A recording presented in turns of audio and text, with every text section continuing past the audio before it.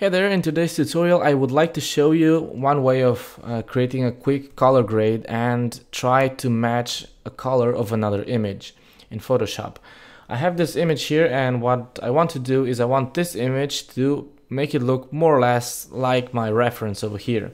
And the result that I got is this.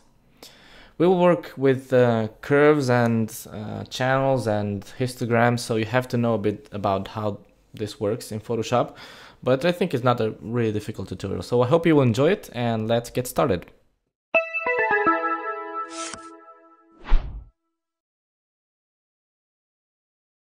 Great, uh, in order to make this, I used an image that I got from unsplash.com, which is this one over here. And then I used, for reference, I used a screenshot from a movie, which I have no idea what movie is this. I don't remember, I just googled movie um, screenshots, but uh, you can find another image if you want. And what I would like to do is uh, try and make this image look a bit more like this one in terms of color. And uh, for that we will use adjustment layers, basically curves and uh, also the selective color. This is not going to be the most accurate uh, color grading technique that you've seen, but uh, uh, or the most accurate color matching. But until we find another automatic way of color matching two images, um, I know some plugins do that, but um, I just want to do it the old-fashioned way, doing it manually. It's funnier, I think. And well, you have the links to these images on my website if you want to use this. And well, let's get started. Before we start, we have to analyze our images. And if you zoom in, well, I'll zoom in a bit. And let's take a look here at our reference. Um, as you can see, the dominant colors here are cyan, blue, green, and also some yellow for some of the darkest highlights. The brightest highlights have not white, but uh, almost white tone. And if you want to be more accurate, you can grab the you can grab the um, eyedropper tool and use the info uh, panel over here. Um, if you go to window, you can select the info or press F8 and here you can take a look at how uh, well what colors are dominating here. Uh, for example um, you can see that here on the brightest highlights we actually it's not 100% uh, bright. Uh, if you sample a color here you'll see that it's this is actually yellow. Um, and on the info panel you can see that the red uh, is higher than the rest of the colors which means red is a dominant color. That's why we have this orange tone and then the the darkest shadows are not dark at all. We have this cyan dark cyan towards green um, tone. Then here on this highlights we have uh, this yellowish tone um, green uh, tone there. Uh, the reds are not really red. They're actually a really dark orange almost red but not um, pure red. And then here on the midtones, the darkest midtones, we have this cyan uh, tone. So these are the dominant colors on this image.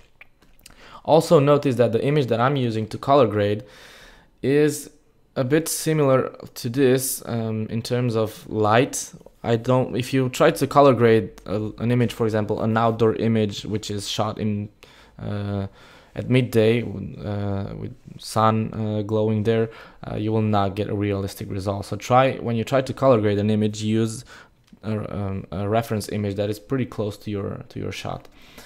So um, let's go one uh, step further and add our add a curves adjustment. I will add a curves adjustment on top of my reference layer, which is layer 2. So let's add a curves adjustment.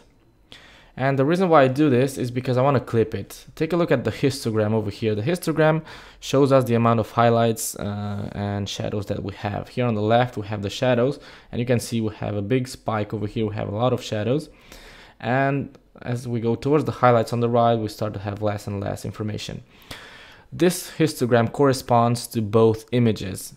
If I clip this to, the, to layer 2, which is the reference, you will see how this histogram changes.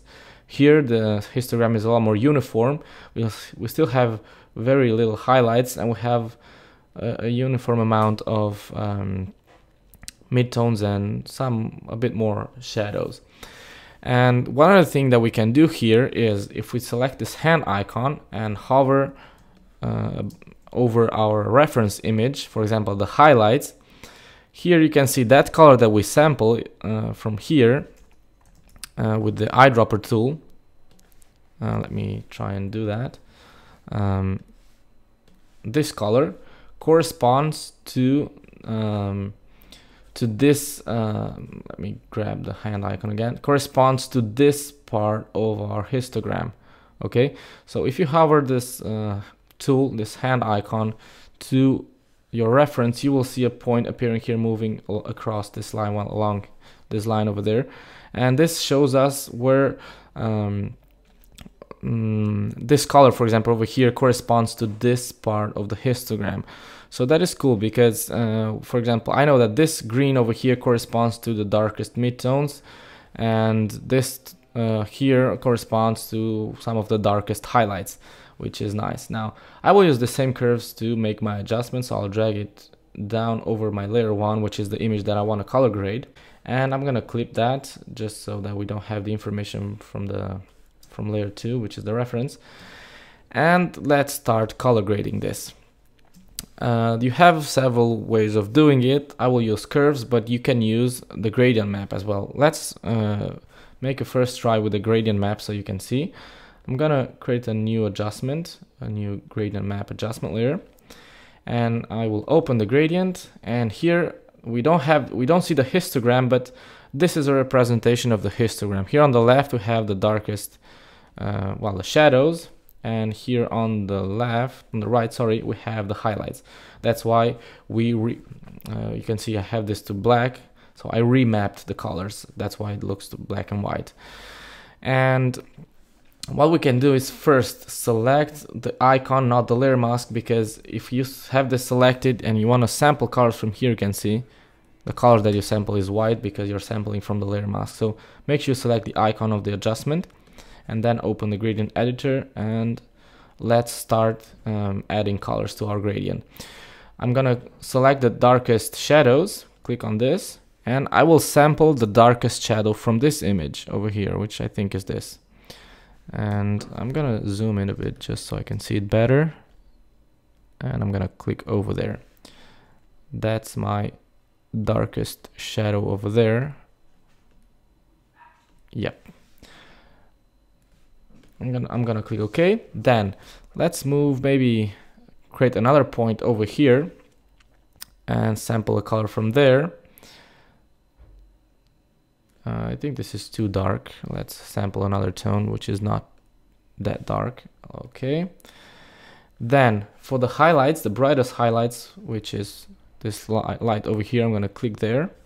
You can see it's not pure white. It's actually uh, really unsaturated yellow, um, orange, sorry. Click OK. And take a look at how our image changed there. And we still have to add this zone, uh, somewhere here around the mid tones over there. So I'm gonna sample this color over here. And probably delete this one. And just move this around here. And probably make this a bit more like that.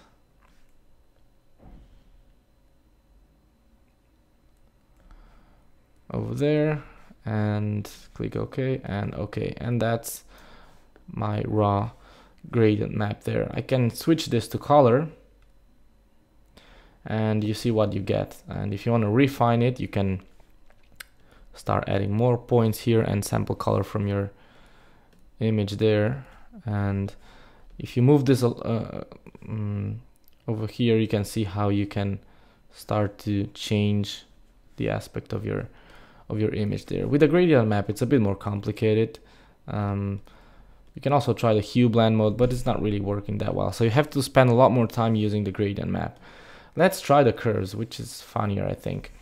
So I'm gonna open the curves, and here we have to use the channels. We have no other choice.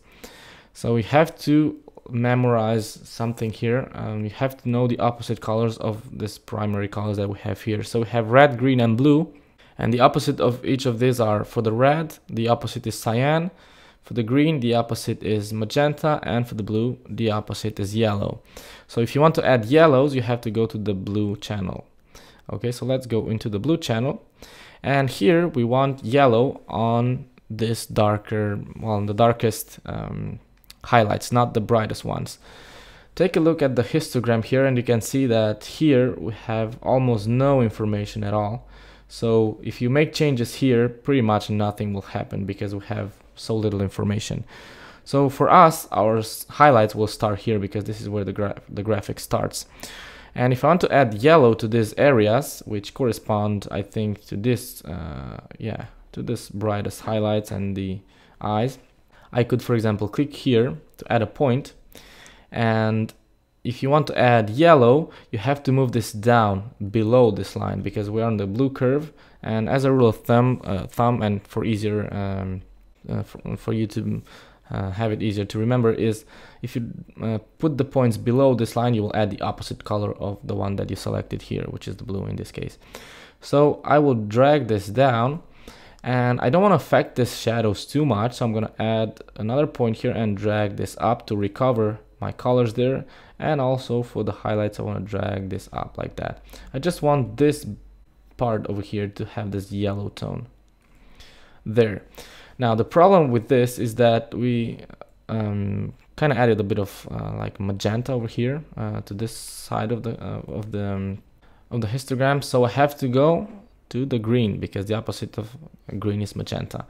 Here the green uh, it's basically on this side of the of the um, of the histogram. So I'm gonna drag this up and I'm gonna click and add a point here and drag this down because I don't want to add um, too much green on the rest of the image and make sure that these things over here stay to where they should be.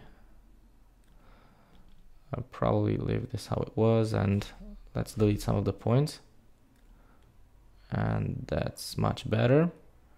Maybe it's a bit too extreme so I'm gonna leave it like that. Great and one other thing that we have to add is cyan. You can see a lot of cyan here. And for that, we have to switch to the red. And here we want to add cyan, especially to the, to, well, this side here, uh, the darkest midtones. So I'm gonna add a point here and then another one here just to make sure that I don't move those. And add some cyan over there like that.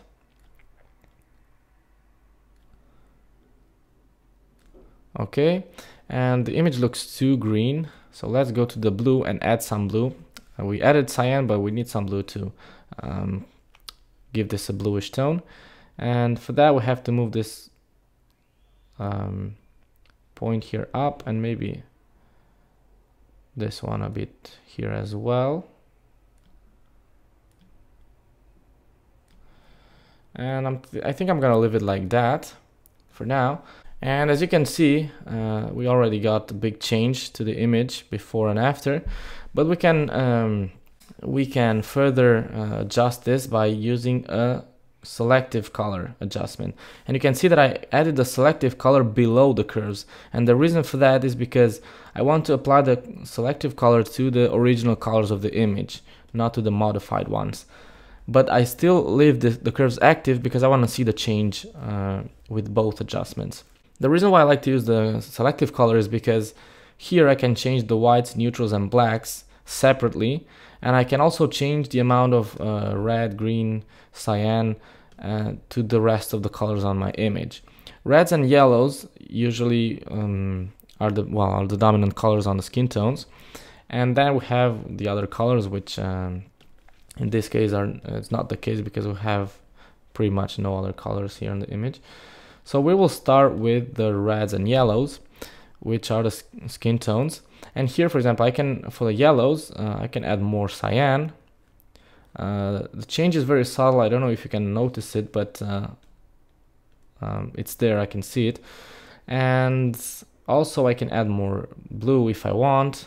Uh, in this case, I'm not going to add that. Uh, if you use the black slider, this is to brighten up or or darken the tones. Um, see that? And for the reds again I can add more red or I can here you will see it better. You can add more cyan or you can add more yellow or more blue. See that? Only the face changes. And of course I can make it darker or brighter. I'm gonna make it a bit darker just to increase the contrast of my image a bit and then uh, notice that the contrast of the image is not really matching this one. Uh, we will use curves for that. Uh, we'll go back to the curves. And then I can go to the whites which is the brightest highlights. And here I can add more yellow uh, for example and more cyan.